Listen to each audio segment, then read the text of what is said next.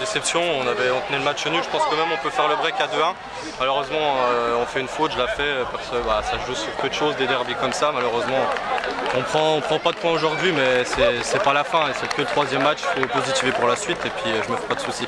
Bon, Taillon, Taillon est, taillé quand même pour, euh, pour la montée euh, cette année, même si vous étiez leader, c'était un match important. Quoi. Ouais, c'est vrai que c'était très important, mais du coup, voilà, Taon c'est le favori, on le sait. On fera avec, hein, on, fera, on, fera sans, on fera avec pour la fin de la saison. On sait qu'ils vont tout faire pour monter.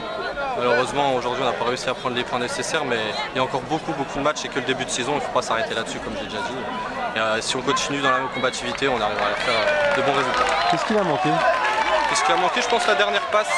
La dernière passe, je pense que si on marque à 2-1, c'est plus le même match euh, sur l'action qu'on a. Et euh, voilà, ça se joue sur peu de choses. Comme je l'ai dit, un derby, euh, c'est peu de choses. Et voilà, ça s'est joué sur un penalty malheureusement contre nous, mais faut pas s'arrêter là-dessus, comme.